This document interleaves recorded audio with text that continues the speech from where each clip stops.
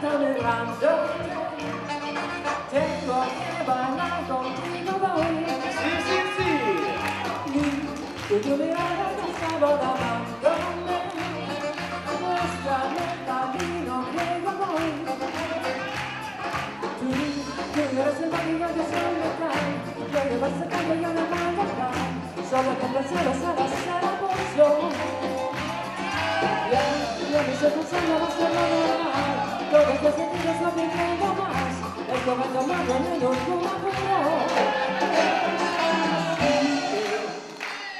Sofia Tabordan, para